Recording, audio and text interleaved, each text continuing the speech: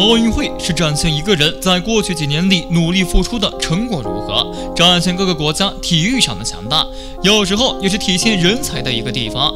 这次我国的跳水小将全红婵就是最好的证明。此后成为我国媒体关注的焦点人物。他是一名实打实的农村家庭孩子，大多数上农村的孩子一般都是比较节俭的，没有很好的生活条件，使得他们就要学会生存条件。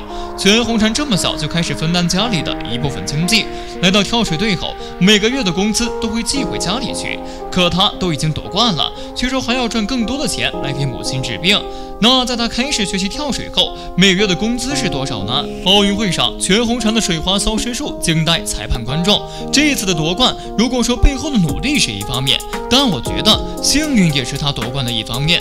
从他进入国家队到夺冠还不到一年的时间。东京奥运会原本举行时间是在二零二零年，当时的他也刚才十三岁，参赛年龄上还不达标，可疫情影响也只能往后推迟一年。十四岁是奥运会要求最低限年龄，推迟一年刚好成就现在的全红婵。在跳水方面本身就有着卓越的天赋，不然也不会被广东省跳水队破格录取。也同样是陈华明教练的眼光，改变了全红婵的一生。在进入省队之后，都是有着一定的工资，可每个运动员项目的不同，工资待遇都会有一定的出入。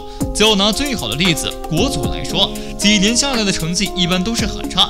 但工资方面却没有亏待过他们任何人。相比其他的项目，举重、摔跤每月都没有太高的收入，都是靠着基本的工资和补贴。跳水虽然被称为我国的梦之队，但它的宣传程度并不高，商业价值达不到该有程度，收入对他们来说也就一般般。当然，这些也是他们最主要的收入。此前也有媒体报道过，省队运动员的保底也就那两千到三千，进入到国家队之后，工资也是五千到六千左右，明显是更多了点。再加上平常训练补贴的话，也能够拿到。七八千，全红婵是在去年的十月份进入到国家队的。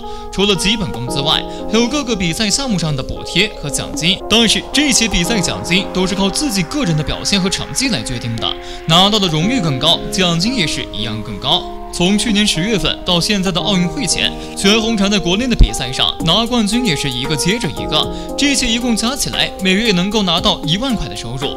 从进入到国家队来到现在的十个月内，算下来也是可以拿到十一万左右。全红婵每天都在训练，花费上也用不了多少，拿到的钱也是寄回家里去。这十几万对很多人来说已经是不小的数目了。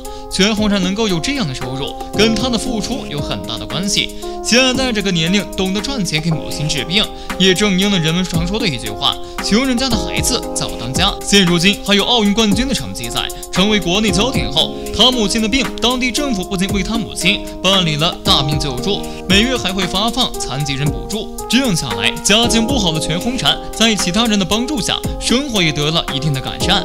回国之后也结束了隔离时间，不过九月份就要开始全运会的比赛了。隔离完也没有足够的时间回家看看。全运会对每个运动员来说都是至关重要的。这次的全运会，他们要代表的是自己各省份的荣誉，所以说各地领导也很重视这次的全运会比赛。全红婵能夺冠，也是多亏广东省教练的破格录取，在后面加以培养得来的成绩。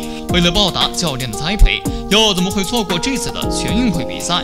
尽管说参加过奥运会了，但还需要更多的大型比赛来提升经验，引导心理上的压力。除了冠军外，还有一个好消息来到全红婵身上，再次收获国家级奖励。就在八月二十八号，发布了体育系统先进集体先进工作者以及劳动模范拟表彰对象，在发布的名单上，全红婵也是身在名列当中。她可是这里面年龄最小的一个，也为那些同年龄阶段的孩子们起到了模范带头作用。很多网友看到也是为全红婵感到高兴。这些荣誉让我们联想到。他最一开始的训练基地，还是广东省最差、最艰苦的环境下来磨练自己，必须要感谢陈华明教练给了他这样的机会。同时，他也把握住了这个机会，并且朝着目标努力向前。也希望这次的全运会结束后，能够回家好好看看父母。这样的荣誉怎么能少了父母的一份呢？你们对这个小姑娘有什么看法呢？可以在评论区留言讨论，发表自己的看法。这期视频就到这里了，点赞关注，后续了解更多内容。